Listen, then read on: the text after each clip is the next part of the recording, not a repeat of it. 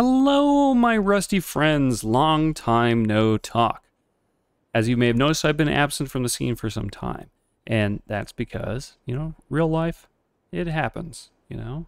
So, as a lot of you have likely seen, Dutch Laws, the bunker, has kind of taken the scene by storm, almost posthumously. So renamed by Sven and recyclers like Game Lights to the so-called offset bunker. Uh, the Dutch Laws bunker has seen a lot of activity, but in terms of new concepts, uh, very few. Uh, so, with that in mind, I thought as I kind of go on in even longer hiatus, I won't be back to making content probably for at least another couple months. I thought I would show you something that I have posted in a couple of different circles as kind of a particularly cheeky example of a very minimal uh, yurt that achieves 23 rockets. This particular example is meant a little bit almost as a parody of the strength of bunkers. People who run the Dutch Laws bunker find it to be very satisfying to force people to run into a floor where they don't expect it when they're raiding. Well, you know, I've got something a little else for you that I think is pretty amusing. And this is a thing that only yurts can really do. So let's go ahead and pretend to raid this. Uh, can I can I chat? Oh, I totally forgot. I can't do that with the HUD turned off. How do I turn the HUD back on? I totally I totally fucking forgot. How do I even do this? Life is so hard. Oh my god, what do I do? HUD. Demo HUD? Graphics HUD? 1? Oh, that seems good. There we go. We have it. We have it back on. We can we can actually fire now. So I'm coming from uh, to you from the Rust Guild of Builders server, uh, which is kind of a, a, little treat for me. So I don't have to host my own server, which is very nice, and it's not nearly as bloated as Builders uh, Sanctuary is. So we see we've uh, blown the door off. We're now at a rocket and some change, and we're greeted with. Well, that's kind of odd. Are these all doors? Oh, that's kind of uncomfortable. Well, you know, I'm kind of lazy, so let's go ahead and soft side every soft sideable for, uh, surface. Okay, so now we're looking at... Well, this is fucking weird. Yeah, nobody nobody likes to see that. You know, it looks like kind of our splash damaged uh, some of these roofs. You know, roofs are pretty prone to splash. And we can see that there's some frames here, but uh, you know, when there was a sheet door, I was never going to start with the, the metal, right? I mean, I always go for the one rocket door. Well, you know, now uh, we could say maybe this is six, seven rockets.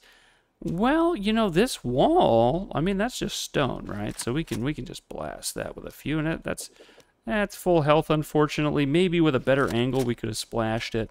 But uh, we'll go ahead and just throw the four rockets at it. Well, that's kind of fucking awkward. Why, why is there a floor here? Okay, that's gross. Well, now, I mean, this is almost the same, right? I mean, this is four. This is about four, three and a half, four. You know, so th this is almost a, a mixture. You know, I mean, I'm I'm pretty irritated now. So of course we're gonna uh, clear the thing out. We'll hit it with three just so we can get a, a good number. Right. So it looks like that. We could probably uh, perhaps shave a rocket off if we use some Explo, but we won't bother. We'll just blow it. Okay, so now we're inside. Um, we didn't really get... I mean, we got we got a lot, right, for a yurt. Uh, this is kind of typical, right? You enter the skirt and you have access to a lot. I think if I had filled this out, this would be quite a bit, right? I mean, you'd be uh, for eight rockets, you'd be getting a pretty substantial amount of boxes, right? I think that any self-respecting uh, yurt denizen uh, would uh, not really have anything significant here, but uh, you know they always have the 15 rocket core. So the thing that I'm aiming to showcase here is what the fuck was going on with this uh, floor roof combo. So we'll go ahead and reload the base. And uh, thanks again to Rust Guild of Builders uh, for their uh, creative server for uh, making this so seamless. So as you can see we, from when we spawn in here, we have a traditional basic stability bunker. This is 15 rockets, barring these soft sides. Then up above, we see something kind of interesting. When we unsealed this, we lost that seal there. And this is actually kind of intended. So if we were to replace this And this is kind of a weird kind of mechanism here. When we replace this, we can replace this floor. Okay. Good to know. This is kind of a reminder.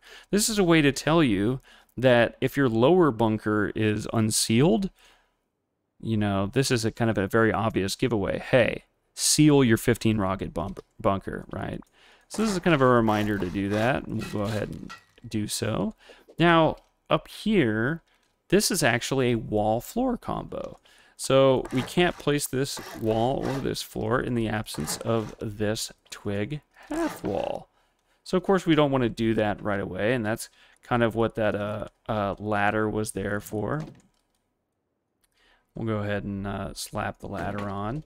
So the idea here is that when you're leaving, you just go ahead and seal this shit up and make sure it's hard side facing you.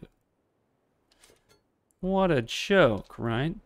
So one rocket, five rockets, eight rockets, as opposed to seven and a half to come in through the sheet. Not bad. And just think about how demoralized that raider is. Anyway, did it? Oh man, I hard-sided my twig. Shame on me. Anyway, I hope you're having a rusty day.